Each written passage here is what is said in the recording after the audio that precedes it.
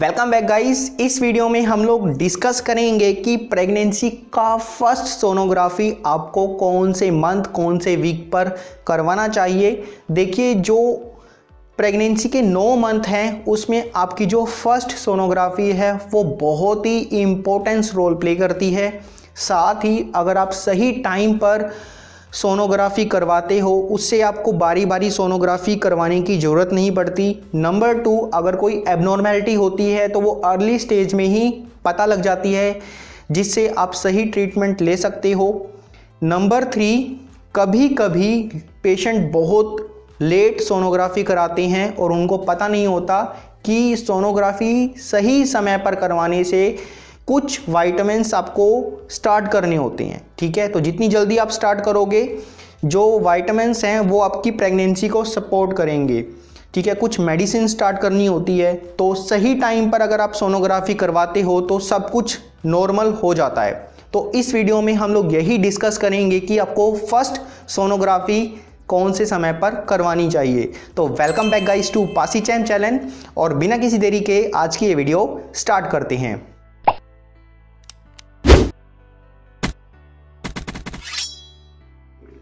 तो गाइज़ देखिए, जो आपका फ़र्स्ट अल्ट्रासाउंड है, वो आपको जब भी आपकी पीरियड साइकिल की डेट मिस हो जाती है, उसके पाँच दिन के बाद आपको यूरिन प्रेगनेंसी टेस्ट करना होता है।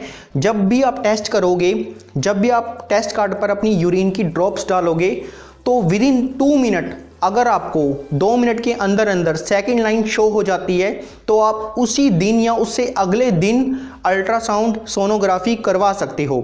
सोनोग्राफी कौन सी करानी है? सोनोग्राफी आपको करानी है pelvic ultrasound for uterus tube ovary and gestational sac अब यहाँ पर कई लोगों को ये कन्फ्यूज़न हो रही होगी कि इतनी जल्दी सोनोग्राफी करवाने की ज़रूरत क्या है? देखिए, ज़रूरत है। कभी कभी ऐसा होता है कि आपको नॉर्मल प्रेगनेंसी नहीं होती है।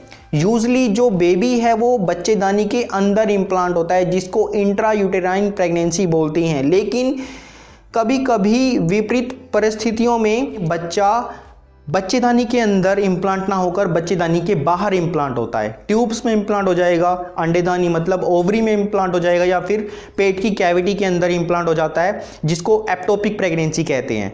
अगर आप दो मंथ तीन मंथ पर सोनोग्राफी करवाते हो और बाय चांस अगर आपको एप्टोपिक प्रेगनेंसी होती है तो उसमें ऑपरेशन करके ट्यूब को निकालना पड़ता है और अंडेदानी को निकालना पड़ता है। फिर बिना ट्यूब बिना अंडेदानी के आपको आगे कंसीव करने में काफ़ी प्रॉब्लम होती है। लेकिन अगर आप कम समय पर एप्टोपिक प्रेगनेंसी को डिटेक्ट कर लेते हो, जैसे मैंने आपको बताया कि पाँचवें दिन आपको प्रेगनेंसी टेस्ट करना है और जस्ट उसके अगले दिन अगर आप अल्ट्रासाउंड करवाते हो, जो अल्ट्रासाउंड मैंने आपको बताया, उसमें आपको जेस्टेशनल सैक अगर यूट्रस के अंदर मिलता है इंट्रा यूटेराइन प्रेगनेंसी होती है तो ये कन्फर्म हो जाता है कि आपको एप्टोपिक प्रेगनेंसी नहीं है। लेकिन अगर आपको एप्टोपिक प्रेगनेंसी काफ़ी कम समय पर डिटेक्ट हो जाती है इन्हीं दिनों के आसपास में। तो आपको दवाइयों के माध्यम से एप्टोपिक प्रेगनेंसी को ख़त्म करने का एक ऑप्शन मिल जाता है मतलब आपको सर्जरी की रिक्वायरमेंट नहीं रहती है।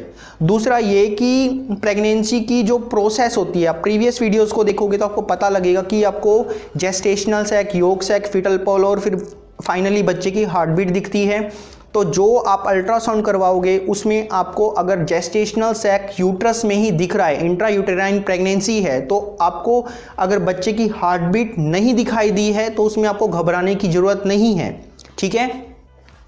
अगर आपकी प्रेगनेंसी इंट्रा यूटेराइन है तो आपको folic acid 5 M iron calcium और प्रोटीन पाउडर स्टार्ट करना होता है। और जो नेक्स्ट अल्ट्रासाउंड हम लोग वैसे तो चौदह दिन के बाद बोलते हैं करवाने के लिए, लेकिन मैं आपको यही एडवाइस करूँगा कि आपको जो नेक्स्ट अल्ट्रासाउंड है, वो आपको दो मंथ साठवें दिन करवाना होता है, ठीक है?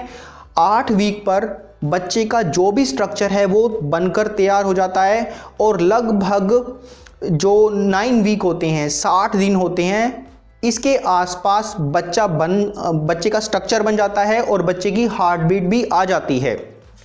ठीक है? इसके साथ जो दो अल्ट्रासाउंड हैं, उनको जब आप कंपेयर करोगे तो उसमें आपको मिल जाती है ईडीडी मतलब कि जो आपकी डिलीवरी डेट है, वो आपको मिल जाती है।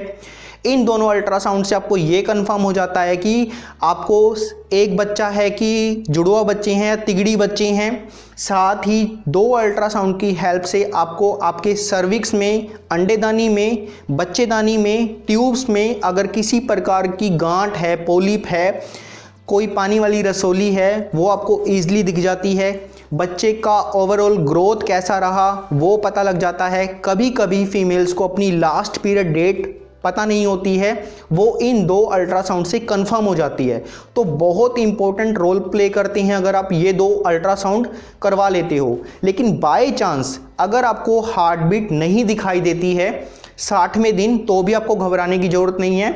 उसी दिन, जिस दिन आप साठवें दिन अल्ट्रासाउंड करवाने जाओगे उसी दिन आपको एक ब्लड टेस्ट करवाना होता है सीरम बीटा एस करके, और फिर 72 आवर्स का एक गैप रख के दोबारा से आपको बीटा एस ब्लड टेस्ट करवाना होता है।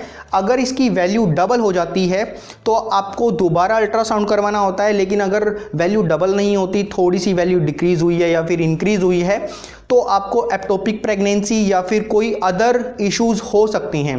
सेम कंडीशन उन लोगों के लिए बहुत इंपॉर्टेंट रोल प्ले करती है, जिनको प्रेगनेंसी बहुत मुश्किल से, बहुत सारा ट्रीटमेंट लेने के कारण हुई है। कई लोगों ने आईयूआई या फिर आईवीएफ करवाया है। उन लोगों के लिए उनके डॉक्टर यही एडवाइस करते हैं कि आपको बीटा एस ब्लड टेस्ट करवाना होता है।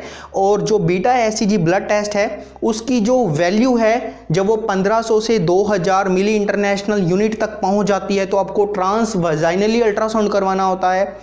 और अगर आप ट्रांस वजाइनल अल्ट्रासाउंड नहीं करवाना चाहते तो बीटा एस की वैल्यू जब 4500 से 6000 के बीच में पहुँच जाए तो आपको एब्डोमन अल्ट्रासाउंड करवाना होता है मतलब सोनोग्राफी करवानी होती है, ठीक है? तो आशा करता हूँ कि आपका डाउट क्लियर हो गया होगा कि आपको प्रेगनेंसी के टाइम पीरियड पर अल्ट्रासाउंड कब करवाना होता है? तो गाइज़ मुझे दीजिए इजाज़त यहाँ तक सुनने के लिए आपका बहुत बहुत धन्यवाद। मैं मिलता हूँ आपसे नेक्स्ट वीडियो में। एक बहुत ही इंटरेस्टिंग टॉपिक के साथ तब तक के लिए stay healthy stay fit thanks for watching this video